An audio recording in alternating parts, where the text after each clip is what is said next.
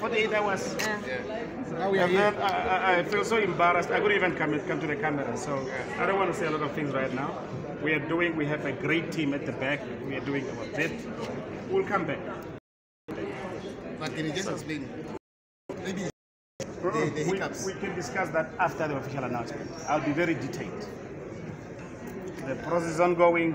Let's discuss it after the final announcements. Okay. Oh, can we ask about the independent candidate? Are you having a meeting? Well, he gave me a letter, but I haven't, I haven't read it because I'm focusing on the results. Okay. Yeah.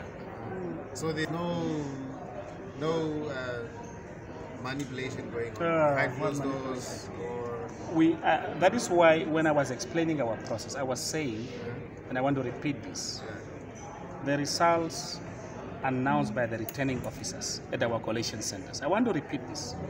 There is no way the Electoral Commission here in Windhoek can announce a result that would be different from what would have been announced at the collation centers. There is just no way. Forget about that. And political party agents have been at those collation centers. They have these records. So there's no, it's just not possible. It wouldn't make sense.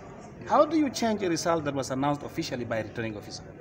So the process is here is clear. It's just to collate, consolidate, double check everything before we make the final announcement. So there are no manipulation issues. So let's not uh, uh, listen too much what people are Mr. Mayor, we have heard that the uh, It, it's not a press conference, bro. I was just saying hello. Let me get back to work. We, we, we will finalize this process as soon as possible. Thank you. he All right, also Mr. going to explain the servers that are being alleged? Is he also going to explain the, the servers that are being alleged? There, there are a lot of things. IP addresses. The- the- I, I saw a video last night. And- and Some, use- somebody saying that uh, uh, my email address is linked to some server. I've been seeing all of these things. And then uh, I, I keep a master computer, USB, something.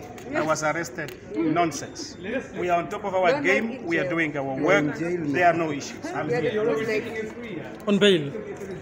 You sleep well at night.